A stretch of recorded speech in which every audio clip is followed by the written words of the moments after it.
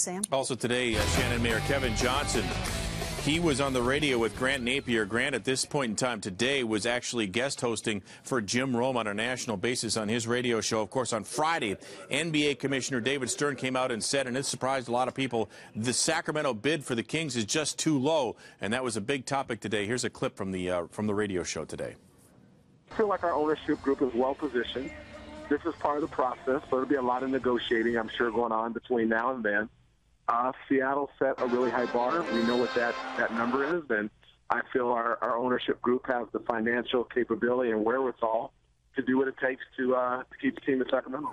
Now, we still don't know what the numbers are from the Sacramento group. The Seattle group reportedly has offered to pay $525 million to buy 65% share of the team. Now, financial terms of the Mark Mastrov Ron Burkle deal have not been made public. According to Stern, this Sacramento offer is well below the Seattle offer. Here's another clip from the Napear interview with Johnson. Seattle had a team and they lost their team for reasons, and Sacramento is doing everything that it would take to keep a team for the very reasons that Seattle lost the team. So that's number one. Secondly, when you think about Sacramento, we're a one-team market, and we epitomize what a one-team market is, should be, and is capable they clearly have a different view of this in Seattle. Today, the investor leading the Seattle group, Chris Hansen, asked Sonics fans to sign up for a priority ticket wait list. It will go live on Thursday, and according to a statement, it will give him the chance to understand and prioritize the demand for tickets, saying it will show the NBA that Seattle wants the team back. Want to take a moment here and go through some of the key dates that we've written down here. First of all, March 23rd, right here more discussion about an arena deal on March 23rd. With regards to March 24th, this is the date that we're going to have another Here We Buy session at uh, Sleep Train Arena. That's, of course, the local group trying to show the NBA that there's a lot of fan support here for the team.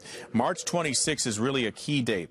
This is the date in which the term sheet, which is submitted on the 23rd, will be discussed publicly by the City Council, and that has to do with the arena. We'll learn more details about the arena deal on March 26th. April 3rd is the next big date. This is a key date that we've outlined in terms of where the investments go. There's a big meeting in New York City with some of the key players in the NBA to have further discussions about what the two plans are from both Seattle and Sacramento. Next big day between this date, the 17th and the 19th. These are all very key dates. The final home game at Sleep Train Arena, then the 18th and 19th in New York City.